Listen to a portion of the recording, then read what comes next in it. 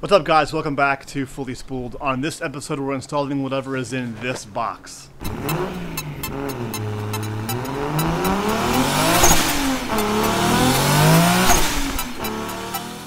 So if you've been following me on Instagram, you know that I've been headfirst in the wiring of the car. I'm, I've been stripping down the old wiring harness and getting the new harness that came, well, that I bought for the LS engine ready to go.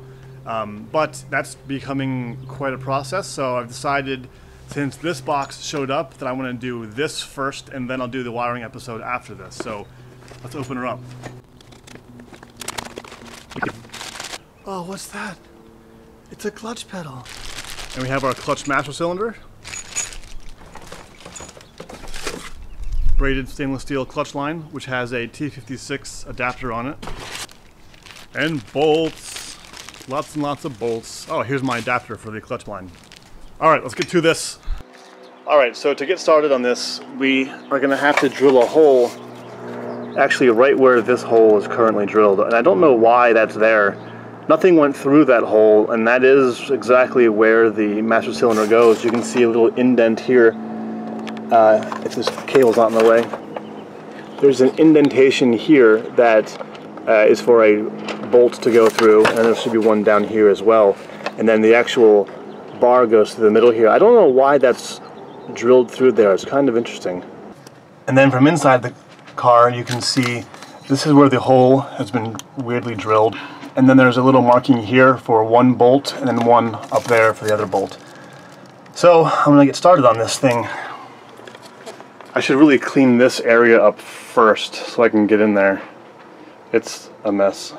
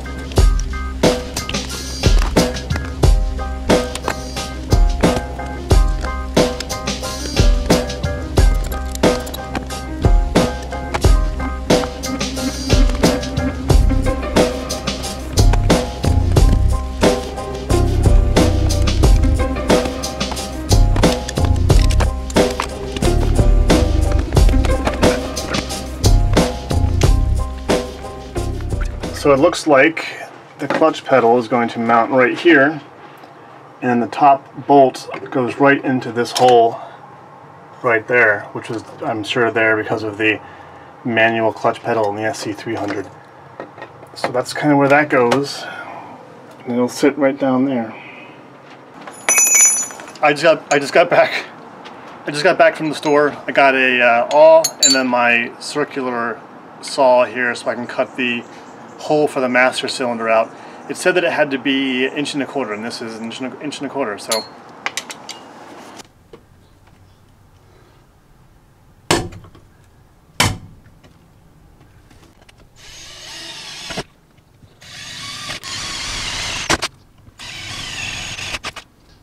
One very important thing that I just noticed is that the entire thing is offset. See how this is shorter distance here than it is from here and the same thing that the hole is drilled further this way. So uh, that's important to know.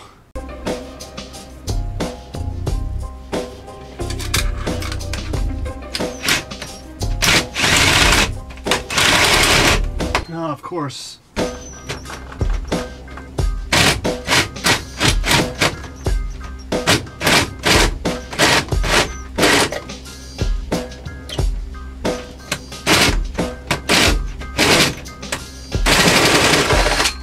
There we go.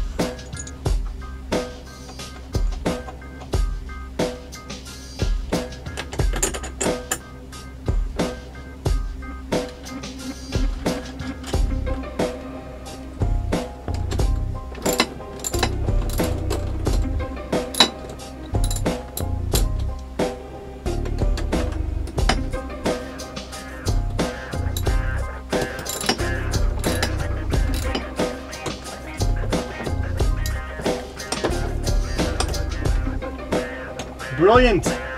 Check it out, it works. Clutch pedal installed. That's really, really cool. Oh, it's so awesome. And here we have it inside the engine bay. It's actually really close here on the right side. I'm hoping that this isn't going to be a problem trying to get the, uh, the banjo bolt on there to get the line to the clutch. We'll find out.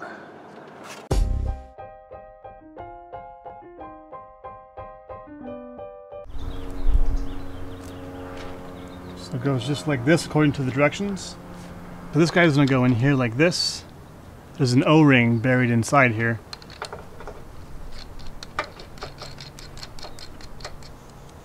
So this will go in here. I'll tighten that down later. And then we have our braided stainless steel clutch line here, which will go in just like this. Sweet. Yeah, that is a big problem.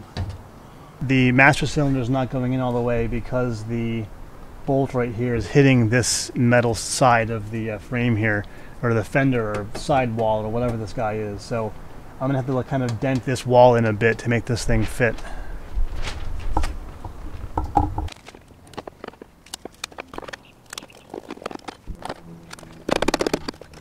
Well, because nothing's ever easy, I need to pull the brake booster out in order to get the master cylinder out, so I'm to have to go through that process now. I was not planning on doing the brakes yet, but I might as well get started getting this thing out just so I can get enough leverage to bend this metal in there because of the poor design of this guy.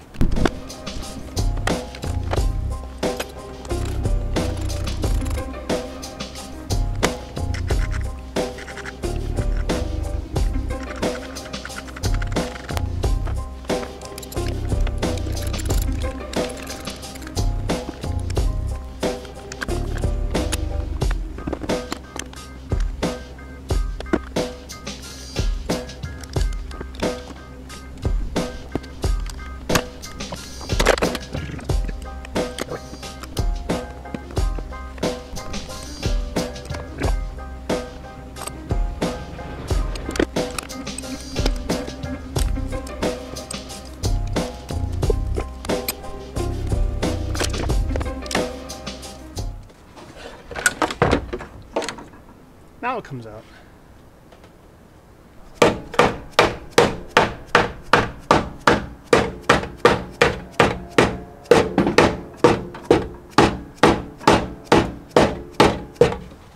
Put that back to straight.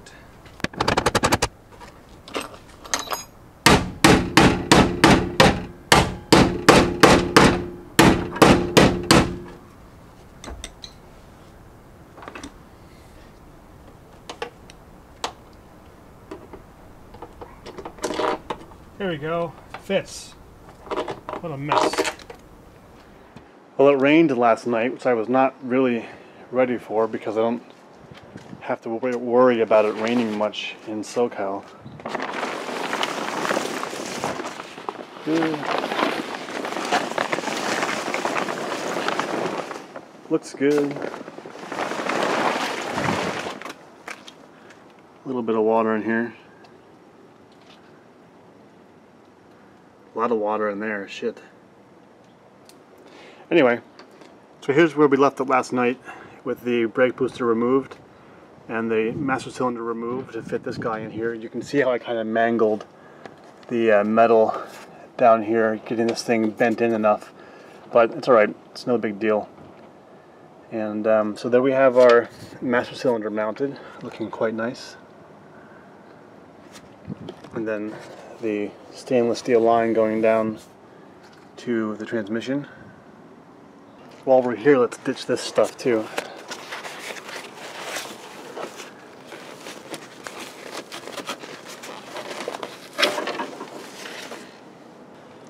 Looking good. Okay, so now that I have the wiring all out of the way and I have the clutch pedal installed, I can reinstall my crash bar to lift my steering column back up and bolt that in place. And uh, A, I can see where my pedals are and make sure it all looks good. And then B, I can start uh, having kind of a skeleton for my wiring so I know what's going to be attached to where and everything. So um, all my sound deadening insulation up here is all gone. I'm going to have to weld a plate over this hole and a bunch of these holes actually. Because um, right here, if you can see, is the engine. It's like that, that close. So I'll weld a plate here, eventually weld up some of these holes, figure out which one of these holes is going to be the uh, pass-through for the wiring harness, because I'm going to have the computer right down here in the footwell on the passenger side.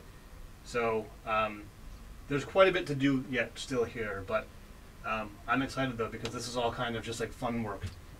All right.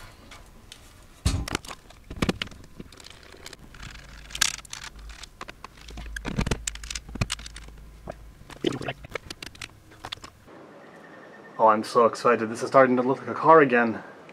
So here we have our clutch pedal installed. So the brake pedal is huge because it's the automatic pedal. So what I'm going to do is cut the left side of the pedal off here. So we have gas, brake will be kind of where my finger is there, and then the clutch pedal, this part will be gone a little bit. Um, I'm not going to cut that yet though because I haven't figured out my braking system yet. I'm going to be removing the brake booster most likely uh, which might change the location of the pedal. So I'm going to wait until I have my brakes sorted, so that way I can use the brake without hitting the clutch pedal and, you know, vice versa. All right, that wraps up this episode.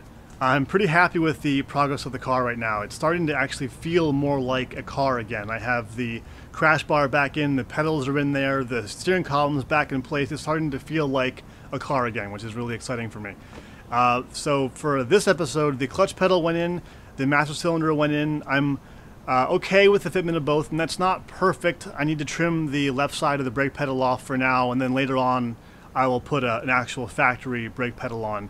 And then the master cylinder, I, I, would have liked it to fit a little bit better with the banjo bolt. I, I ended up having to take a hammer and you know taking a good half inch of metal out for the banjo bolt to fit, which is kind of a bummer. It's fine for this car because it's a you know a drift track car, but uh, in terms of uh, if you wanted to have a manual swap in your SC300 or 400 and yours is a nice daily driver, you wouldn't want to take a hammer to the side of the car like that. So uh, if you do want to do a manual swap on your car, I would recommend getting the factory parts and not doing the Xcessive kit because it's going to leave some marks. So um, in, many, in more ways than one. So anyway, there's a lot more left to do in the car. We have to get the interior taken care of, like removing the sound deadening and stuff. I have to get the wiring finished. I started that a little while ago. I need to finish that. Uh, I also have to get the brakes figured out. Um, I decided today pretty much that I'm going to remove the uh, the brake booster entirely from the system and the ABS and everything else. So that's coming up soon, as well as the drive shaft, and there's all kinds of stuff still in the works here. So anyway, yeah, there's a lot more coming up on the channel. I'm really excited about it. And if you are liking these videos, please do like and subscribe to Fully Spooled because it helps me out a whole heck of a lot. So thanks again, and I'll see you guys next time. uh, I have no idea what that is. um, more nipples. Anyway.